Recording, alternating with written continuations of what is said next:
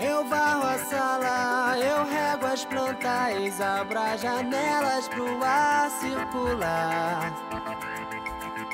Faço uma faxina pra limpar a casa. Faço uma faxina pra arrumar a vida, pra dissolver e compor.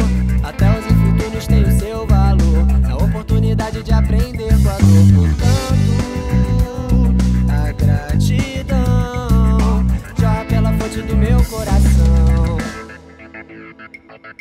Tanto